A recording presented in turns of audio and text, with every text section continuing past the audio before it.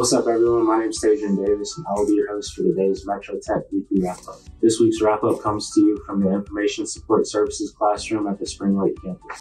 I'm currently a senior enrolled in the PC Computer Network Support Technician class.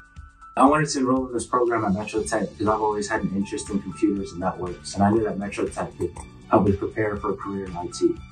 I really like my teacher, Mr. Adams, because he focuses on each student individually to ensure that we are all learning and understanding the material and concept. After I graduate, I plan to further my education at a university and earn a bachelor's of science in information technology so I can become an ethical hacker.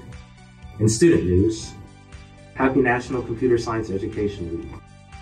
Students in the Metro Tech STEM Computer Science Academy and Technology Student Association chapter recently ventured to UCO to attend the annual Fall Leadership Conference.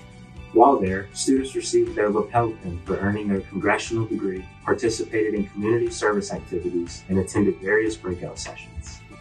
Over in culinary arts, 17 students recently earned their ServSafe Food Protection Manager certification and are already preparing to gain their certifications in first aid, CPR, and American Culinary Federation certifications as well.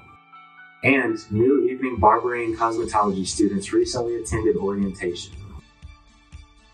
And finally, engineering students ventured to the Gallogly College of Engineering at OU to explore options for furthering their education in engineering after graduation.